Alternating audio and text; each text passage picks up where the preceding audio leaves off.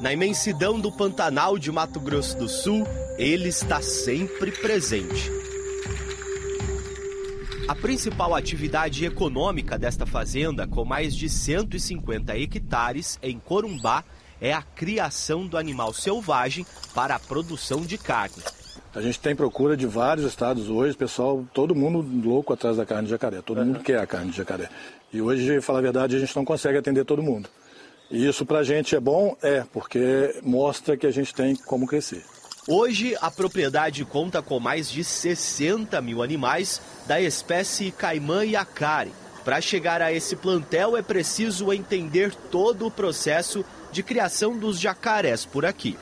Antes do período de reprodução do jacaré do Pantanal, com a ajuda de um aplicativo, os técnicos da fazenda fazem um mapeamento da população em três áreas do bioma. A partir desse relatório, o IBAMA e o IMASU, Instituto de Meio Ambiente de Mato Grosso do Sul, estimam a produção de ovos e liberam um percentual para recolhimento. O fato das, das coletas serem estabelecidas né, previamente é uma coisa que facilita em relação à densidade e ao número de animais que existem na região.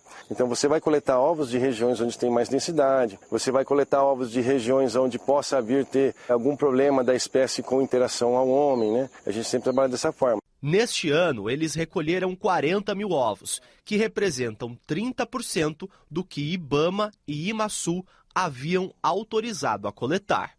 O trabalho é em parceria com os ribeirinhos, que recebem R$ 1,50 por ovo.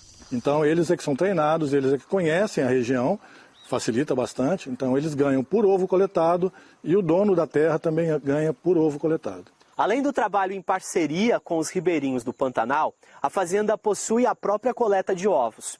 Para isso ser possível, foram construídas em 10 hectares quatro lagoas como essa. Atualmente são 1.500 fêmeas e 300 machos, usados exclusivamente para a reprodução de jacarés na propriedade. No período de reprodução, as matrizes deixam as lagoas, vêm para a terra firme para buscar o ambiente ideal para montar os ninhos, assim como na natureza. Aqui estão tá os ovos.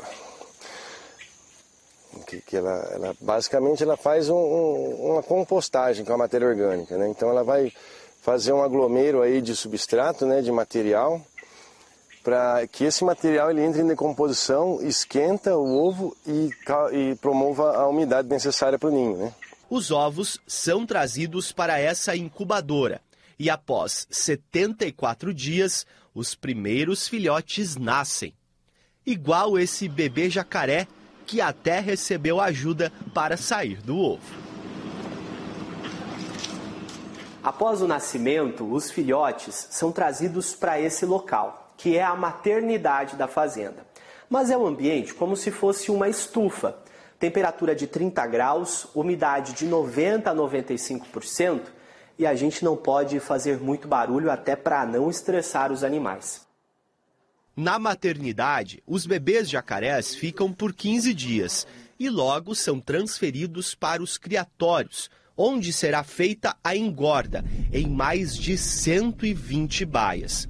Com dois anos de idade, os jacarés já estão prontos para o abate, que é feito no frigorífico instalado dentro da fazenda. Os animais passam pelo processo de retirada do couro, de limpeza, até chegar à desossa. São feitos os cortes para a comercialização da ponta da cauda, filé da cauda, filé do lombo, coxa e iscas, além da linguiça, que é um novo produto da empresa. A média de carne desses animais, depois de tirado tudo, é de 3 a 5 quilos, depende do tamanho do animal. Nada é desperdiçado. O couro é vendido no Brasil e exportado para o México. Já a carne do animal atende ao mercado interno. Os preços dos cortes de 400 gramas variam de 40 a 75 reais. A empresa ainda fornece para a comercialização o coração e a língua de jacaré. Esse restaurante em Corumbá incluiu os produtos no cardápio.